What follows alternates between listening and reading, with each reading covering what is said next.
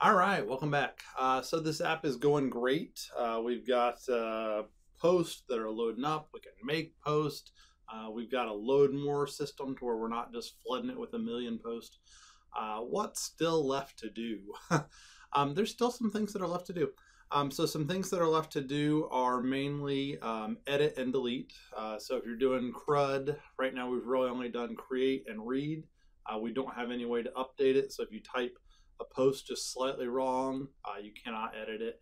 Um, if you say something really dumb, you cannot delete it. Um, and we need edit and delete.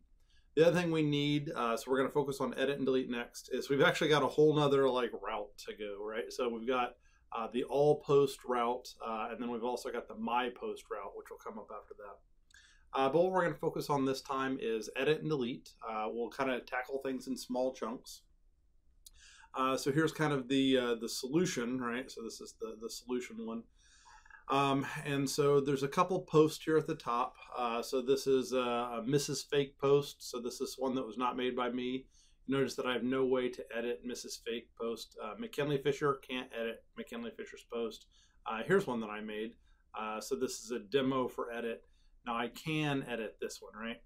Um, and really all I'm worried about now is the, is the UI. And the way the UI works is when you hit uh, the edit pencil, um, it transforms um, the text into an input, right? So it just kind of transforms it into an input.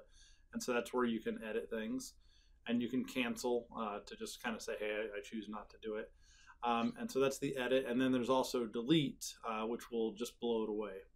Uh, and delete also has a button on here for undo, um, and so if you hit undo in time, uh, you can actually undo that. Uh, so let's go back over uh, into our app. And the first thing that we want to do, let me clean up some data here. There we go, clean those off. the first thing we want to do is we want to be able to have pencil and trash can icons over here. So we want to see them um, and we want to see them at the appropriate times, right? So I don't want to see them down here on, um, you know, posts that were not mine. I only want to see them on my post.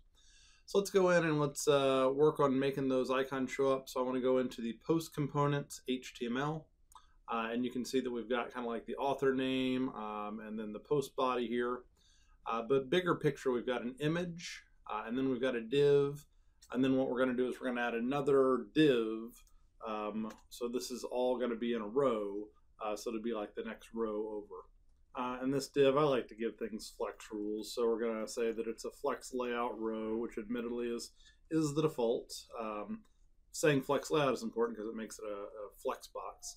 What we're going to put in here is we're going to put in two buttons. Uh, and the buttons that we're going to put in are of type MD icon buttons.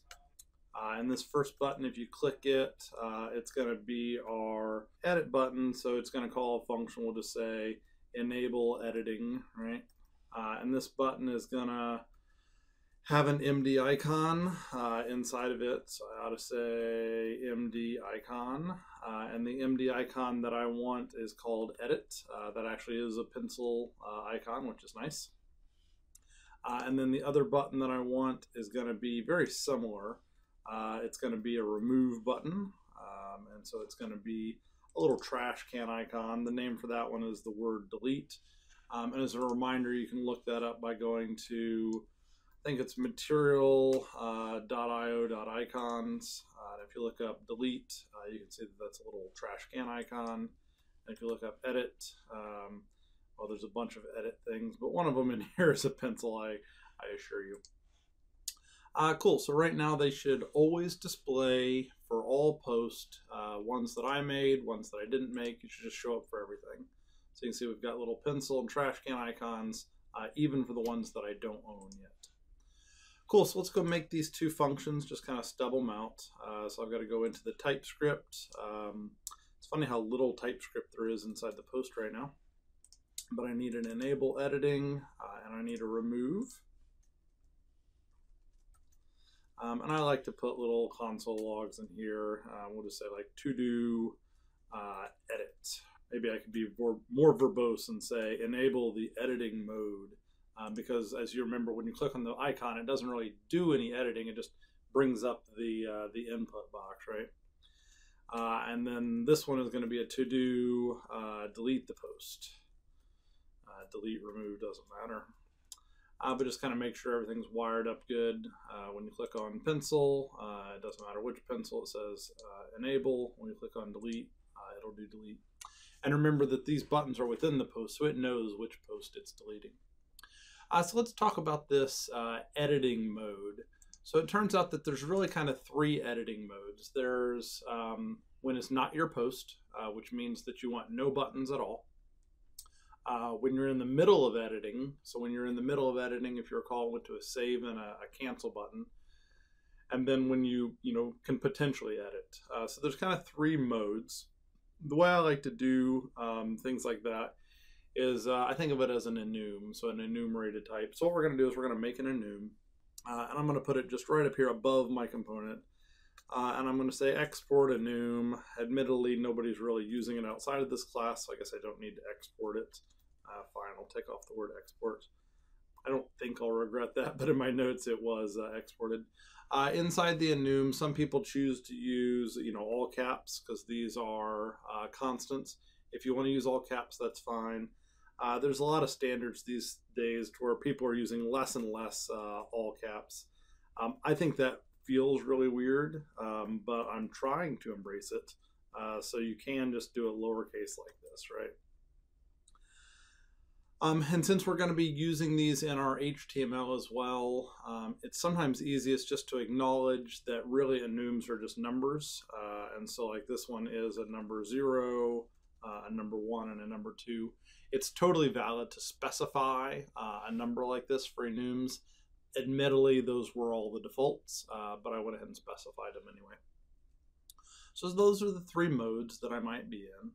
Uh, and then inside my class, I'm probably going to need a variable uh, called, uh, you know, the editing mode, uh, which is of type editing mode.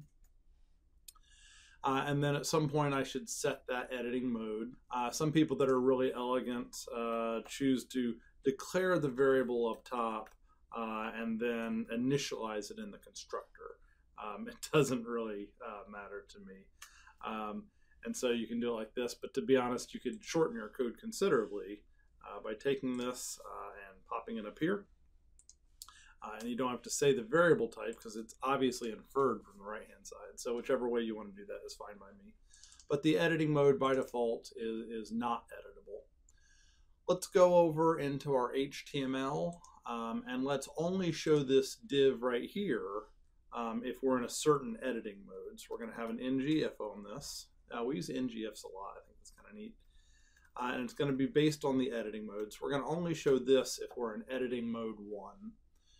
There's probably some way in the HTML to reference the enum by name. Um, I haven't didn't bother to look up what it is because it's it's pretty easy for me to just say, um, you know, it's for one equals display this. So now uh, all my things should go away. Uh, if I wanted to see them come back up, uh, I could just change the the variable to display edit buttons, uh, and you can see that now they all come back up. And then later we're going to have um, you know the mode of editing um, and it's going to show different buttons but we'll we'll make those when we need them right all right so i'm going to go ahead and set it by default to not editable. Uh, so now i don't have buttons anywhere. Um, so it's kind of like extreme one case not extreme the other case. Now what i want to do is i want to decide uh, what the editing mode should be. Um, and the way you decide is if you look at this post um, so we can say if um, you know, this dot post with author. Um, if the author key is equal to the person that signed in right now, uh, and we can get the person that signed in from the auth service. Uh, now we have to use dependency injection to get the auth service. That's easy peasy. I love services, I really do. Uh, and so we import this. Uh, and so now we say if it's equal to the auth service dot current user ID, um, then that tells us what editing mode we should be in. So we can say this dot editing mode is equal to uh, editing mode of display the edit buttons. Now we could also have an else on here and we could say not editable, uh, but that actually is the default. So I think that I'll just go with the if. So now uh, it should show those buttons in only the right places. Uh, so it looks like all my quotes have them, uh, which is great. Uh, and then Keegan's here does not, and then the fake ones do not at all. Um, and I still have exactly 20 posts, so there's a load more button, which doesn't load more. Um, but I got what I wanted, uh, and that's I got my edit buttons in only the right place. As soon as I get the capability of delete, I'm going to delete a bunch of those. Uh, but just just right now, they're still on there. Uh, cool. So I think that's worth a check-in. Uh, so that is display, uh, edit, and delete buttons when appropriate. By the way, I've noticed that my uh, comments on my, my log messages have gotten very verbose. Uh, there's a recommendation to keep those shorter than what I do, but but that's okay. Um, and I think what I'll do is just because it's fairly easy, let's go ahead and implement uh, remove right now. Uh, and so remove, I guess I should not have closed all those files. Uh, so remove happens right here. Uh, so remove, you have the option of, you know, do I want to just shoot it out of Firebase from here, uh, or do I want to have my post service do it? Um, and obviously, we should do it via the post service, even though it's it's basically just a one-liner. Uh, we should organize things and, and, put tasks like that inside the post service. So do dependency injection for the post service to start things off. Uh, import him, make him flow on a separate line. Um, and we'll just say, uh, hey, this dot post service, uh, we need to come up with a, a, method for him. We'll just say remove.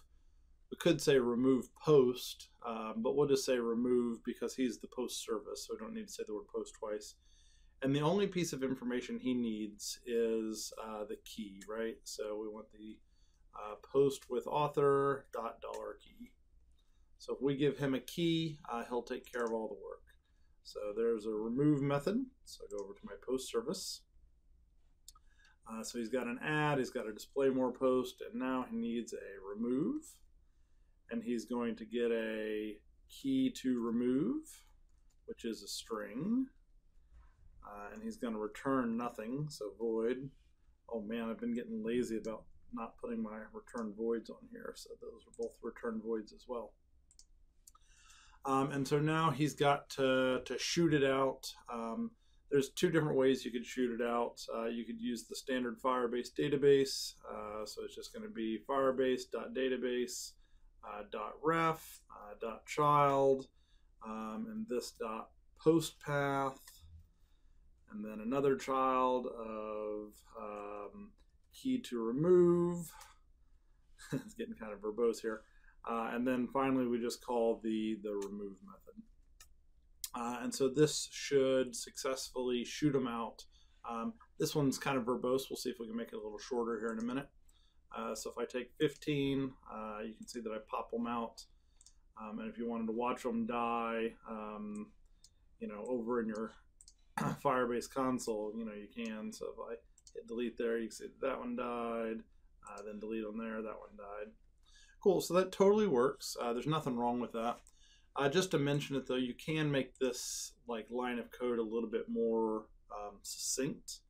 Uh, and that's if you wanted, you could, um, when you say ref, you can actually like put in a path right there. And so what you could do is you could use string interpolation um, just to kind of make that a little bit shorter. So I switched to backticks there. Uh, oops, I was missing a parenthesis there. Um, so my reference uh, goes to uh, slash postpath slash key to remove dot remove, um, and that should do the exact same thing as my more verbose uh, child child thing. So let's just go ahead and shoot out a couple more. Uh, so there I'll knock out number 10, uh, then I'll knock out number 9, um, and so you can see that that works just fine as well. Uh, and while we're talking about alternatives, um, you could also do it with um, Angular Fire, right? Uh, so if you wanted to do it with Angular Fire, I think we've got access to uh, to DB in here as well. Uh, so if you look at the constructor, you can see we've got DB as well. Uh, so we would say um, this dot DB uh, dot object, uh, and the object is the same path dot remove uh, and that should actually do it as well uh, using the Angular Fire uh, API. So I don't know, it just doesn't matter what you do. Um, the reason I typically don't do this one is because I'm afraid that it'll like um, do more work because with Angular Fire you can do things both way. Uh, but to be honest, I suspect that if you evaluate it, they're both equally efficient. So now if I hit delete, uh, he goes away, uh, and he goes away. So I mean, which one you use just doesn't matter. Um, they're they're identical. Um, and I just I choose to do things like this just to make sure you're comfortable with the different APIs and things that you can use. Uh, all right, so that was uh, delete. Um, and the next thing we're going to do is going to be the undo capability, uh, but that's going to be a little harder. So we'll do that uh, in the next video. So uh, it's working now, so I'm going to remove that comment log. Uh, looks like I got a blank line there, which I'll remove that. and then my service, oh, I added the word void on those guys. Um, it uses the standard Firebase SDK uh, without the word child in it. Um, and then it's got the other one here as a reference. So this is uh, delete a post uh, without uh, undo yet. Uh, all right, so that'll wrap up this video, uh, and we will see you next time. うん。